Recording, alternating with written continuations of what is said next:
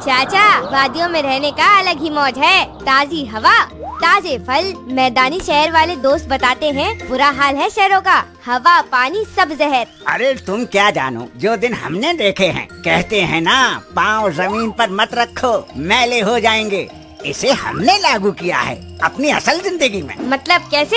अरे कितने महीने ज़मीन पर उतरते ही नहीं थे। हम डाल डाल और पात पात हरियाली थी। जब से ये इंसान आए हैं पेड़ कटे तब से भागना पड़ता है। ना जाने कब भूस्खलन आ जाए ना जाए कब्जा करके खुद तो मरते हैं। और हम पर भी कयामत ढाते हैं। फिर कैसे बचते आए आज तक? निगाह रखनी पड़ती है भैया। जहाँ ज़्यादा कटाई हो नदी नालों का पानी मटमैला लगे चट्टानों पर दरारें आए कटने के निशान आए और जहाँ खड़ी चढ़ाई पर मकान बनाते देखें तो बस वहाँ से खिसक लो। रिहायशी क्षेत्र में भारी बारिश आने की संकेत है और पहाड़ी इलाकों में चट्टान खिसकने का डर।